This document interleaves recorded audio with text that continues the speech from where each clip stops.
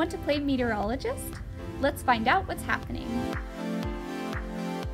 A barometer is a device that measures barometric pressure. Barometric pressure, or atmospheric pressure, is the force per unit area exerted against a surface by the weight of the air molecules above that surface. Today, we are going to make our own barometer with supplies you have at home. Let's get started!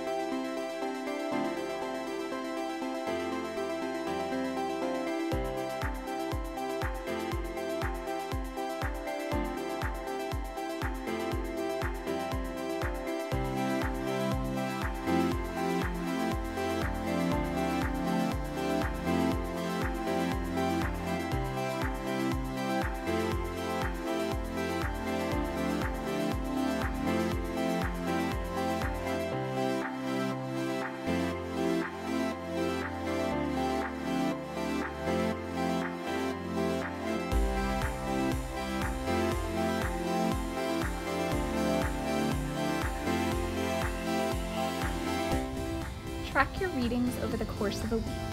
What did you notice? Did the balloon bubble up?